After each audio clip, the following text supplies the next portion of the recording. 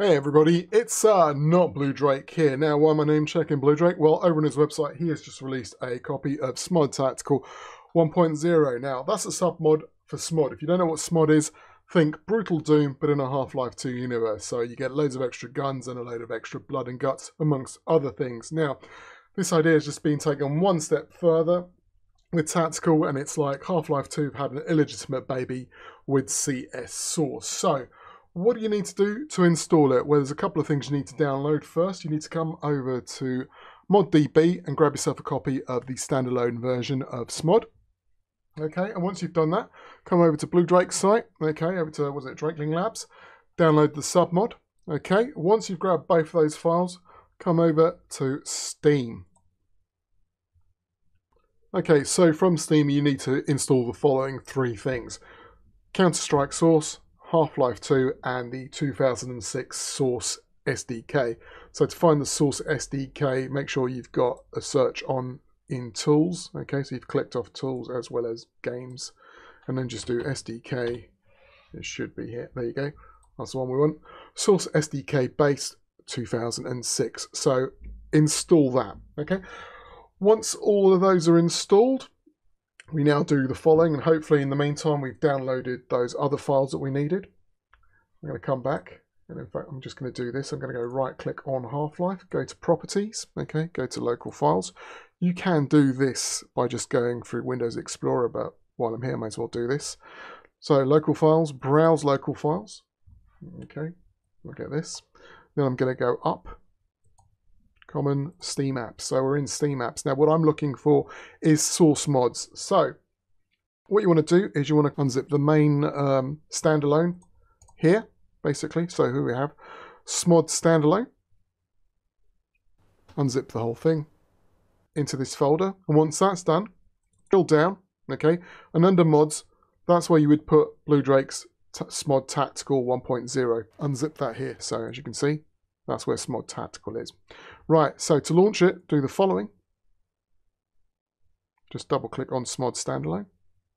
Or Standalone, I think that's been misspelled. Just leave it, it should work. Okay, there's the Smod launcher, and as you can see, we've got Smod Tactical. Click on that.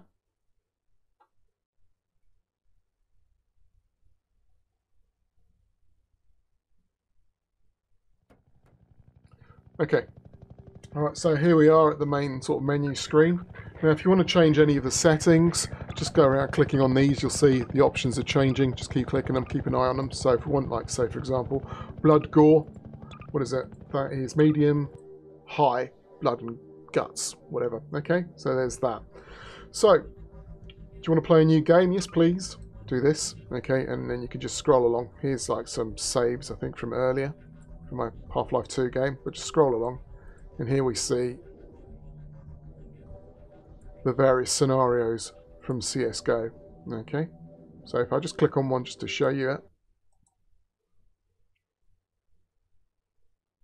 we'll just wait.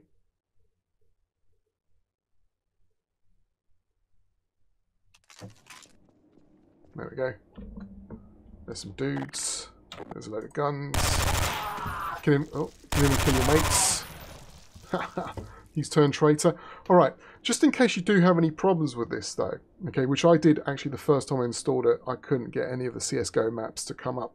You can do the following. Fire up the console by hitting the tilde key. Okay, and now you can do change map, I think it is, change level, sorry. Okay, so select that. I'm going to type change level.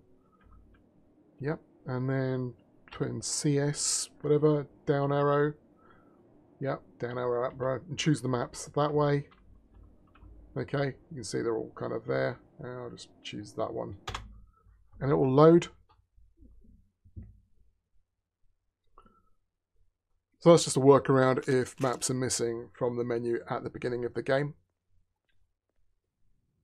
And of course, don't forget, if you want, you can just play through the normal campaign, but with just extra blood and guts everywhere. Right, so I hope you found the video quite straightforward and easy to understand. If you've got any questions, put them in the comments section down below. And I guess all that remains is to say big shout out and thanks to Bluedrake and the original modders for making this kind of stuff available to us. Right, I'm off to cap some Combine Fools. Don't forget, likes and subs, always appreciated, never required. Look after yourselves, remember to wash those hands, and I will see you next time. But until then, this is HippCelt signing off.